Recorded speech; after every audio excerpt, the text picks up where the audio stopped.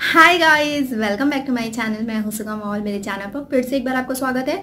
तो अगेन बहुत ही इंटरेस्टिंग एक चीज़ मैं आज आपके साथ शेयर करूँगी जो वाकई में कारागार है और इसे बॉलीवुड में काफ़ी प्रेफरेंस दी जाती है आपके स्टोमक को फ्लैट रखने के लिए। ऑलरेडी मैंने आप लोगों के साथ एक चीज़ शेयर की है, लेकिन आज ये नेक्स्ट रेसिपी है और इसके बारे में काफ़ी बॉलीवुड हीरोइंस ने बात भी की है कि किस तरह से नाभि पे सिर्फ़ वो चीज़ को यूज़ करने के बाद आपका टम्मी एरिया किस तरह से अंदर जाएगा? क्योंकि सबसे ज़्यादा फैट नाभि के आसपास की जगह पे उतना पेट निकला होता है और उस एरिया को किस तरह से हमें टक करना है, यानी अंदर करना है और बिल्कुल सपाट करना है। हीरोइंस को आपने पेट देखे होंगे, इतने ज़्यादा सपाट होते हैं कि अगर आपने इस चीज़ को कर लिया तो आपका पेट भी मात्र ही कुछ दिनों में सपाट होना स्टार्ट हो जाएगा। क्या है? वो कैसी चीज़ है? चलिए वीडियो में आगे दिखाते हैं। पैन लेना है और इस इस एक चीज़ ध्यान रखिएगा कि आपको जो प्योर मस्टर्ड ऑयल मिल जाए। मार्केट में इजिली अवेलेबल होता है मस्टर्ड ऑयल अगर आपको प्योर मिल जाए तो बहुत अच्छा है। तो आप सरसों का तेल इसमें डालिए। मैं एक से डेढ़ महीने के लिए बना के रख लेती हूँ तो मुझे काफ़ी इजी रहता है। तो इसमें आपको मान के चलिए एक कप के लगभग सरसों का तेल चाहिए। तो सरसों का तेल डालूँगी, इसे आपको गर्म करना है देन इसके बाद मैं यहाँ पे पैराशूट किया किसी भी कंपनी का आपको नारियल तेल लेना है। बोल चलिए five to six tablespoon आपको वो लेना है। मैं अंदाजे से डाल रही हूँ और मैं अंदाज़ा आपको इसलिए नहीं बता रही क्योंकि मैं बनाती रहती हूँ तो मुझे आइडिया रहता है कि इसमें क्या करना है, क्या नहीं करना है। उसके बाद हमें इसमें डालना है दालचीनी, यानी कि यू नो जो दालचीनी स्टिक वाला आता है ये वाला। आपको यही वाला डालना है पाउडर मत डालिएगा, क्योंकि ये ऑयल बेस होता है तो ये ज़्यादा इफ़ेक्ट करेगा। तो आपको ये डालना है, इसमें फोर टू फाइव स्टिक इसके बाद आपको इसे पकने देना है, ऐसे ही। जब ये पकने लगे देन उसके बाद आपको वन टेबल स्पून इसमें अजवाइन डालनी है।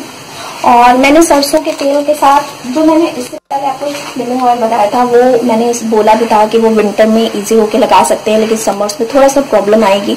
तो ये सरसों का सॉरी नारियल का तेल इसीलिए डाला है क्योंकि उतना ज़्यादा हीट नहीं करेगा आपकी बॉडी में और जो नारियल तेल है, वो उसकी तासीर को बिल्कुल क्या बोलते हैं कि बराबर रखेगा, ना ज़्यादा गर्म, ना ज़्यादा ठंडा।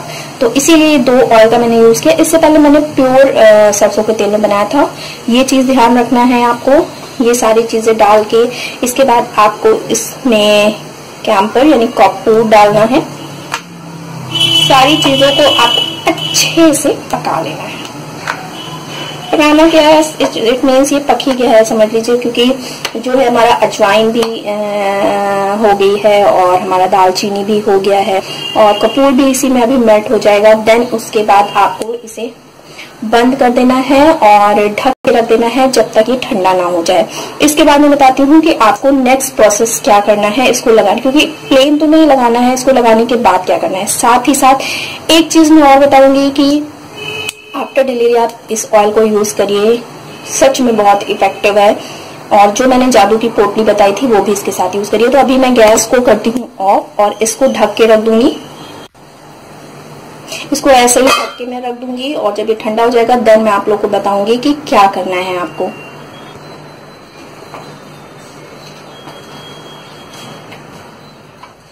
तो यहाँ पर ये अभी पूरी तरह से ठंडा नहीं हुआ है, लेकिन मुझे वीडियो बनाना था तो मैं आप लोग के साथ मैं दिखाती हूँ। तो मैं इसमें थोड़ा सा वाली हूँ। आप इसे स्ट्रीम कर लीजिएगा।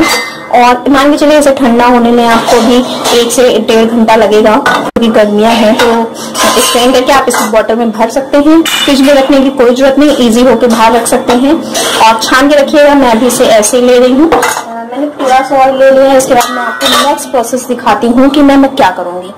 नेक्स्ट प्रोसेस में आपको इस तरह की जो पॉलिथीन रैप आती है, आप ये ले लीजिए या फिर कॉटन का कोई भी कपड़ा ले लीजिए। मैं हमेशा दो ऑप्शन आपको देती हूँ जो अफोर्ड कर सकते हैं और जो अफोर्ड नहीं कर सकते हैं। आप अपने लोअर लोअर का जो स्ट्रेचबल कपड़ा आता है, वो ले लीजिए या फिर ये ले लीजिए। मेरे पास ये अवेलेबल था तो मैं आपको दिखा रही हूँ। इसके बाद आपको क्या करना है, इस ऑयल को लेना है। और आप अपने पेट के एरिया पे आर्म्स के एरिया पे थाइस के एरिया पे, जहाँ भी आपको लगता है कि आपके फैट है, ये आपको लगाना है। दो से तीन मिनट तक तक आपको मसाज करनी है, ताकि जो भी एज अ सेलुलाइट जो भी वहाँ पे जमा है, ये उसे अच्छे से रब रब करेंगे और सनलाइट इसलिए जमता है क्योंकि जहाँ पे ब्लड सर्कुलेशन हमारा नहीं होता है जहाँ पे ब्लड नहीं बहुत अच्छे से दौरान होता है, वहाँ पे सनलाइट जम जाता है और आपको फैट दिखाई देने लगता है। तो इस तरह से आपको रब करना है, ताकि जो भी ऑयल है वो अंदर जाए, वहाँ पे गर्माहट आए और जो ब्लड सर्कुलेशन है वो चलना स्टार्ट हो। मैं भी रब नहीं कर रही हूँ, उसके बाद जब भी लगाइए रब करिए। मैं पेट के एरिया के लिए इसे यूज़ करती हूँ। आपको ये, इसी तरह आपको कपड़े के साथ भी करना है। और इस तरह से खुद टाइटली मतलब कि ये ध्यान रखिएगा कि चाहे कपड़ा आप ले और चाहे जो भी खूब टाइटली आपको इस तरह से इसे करना है। और एक चीज़ ध्यान रखिएगा कि आपको इसे पूरी तरह ऐसे ही रैप करके छोड़ना इससे क्या होगा? जो ऑयल है वो इधर उधर नहीं जाएगा, और जो ऑयल है वही पे एब्सॉर्ब होकर पूरा अंदर जाएगा। और ऐसा आपको पंद्रह दिन करना है। उसके बाद आप देखिएगा वहाँ का जो सेलुलाइट है वो चला गया ब्लड सर्कुलेशन तेज हो गया स्किन टाइट हो गई है और फैट भी कम हुआ है। सिर्फ़ इस चीज़ को करके, अपनी पेट को गर्माहट देके, अपनी नाभि के आसपास के घर गर्माहट देके, आप उस जगह के फैट को गला सकते हैं। आपने देखा होगा, लोग बोलते हैं, ये बेल्ट लगा लो, वो बेल्ट लगा लो, हीट के लिए ये, वो। आज ये एक ऐसी चीज़ है जो, अगर आप वैसे बोले तो काफ़ी कॉस्टली है, लेकिन सिर्फ़ आप इसे घर में इस तरह से यूज़ करके अपने नाभि के आसपास की चर्बी को चुटकियों में गायब कर सकते हैं। वीडियो जरा सा भी इंफॉर्मेटिव लगा हो लाइक कर दीजिएगा। चैनल पसंद है तो फटाफट से सब्सक्राइब करिएगा। मिलती हूँ बहुत ही जल्दी एक नया वीडियो के साथ। तब तक के लिए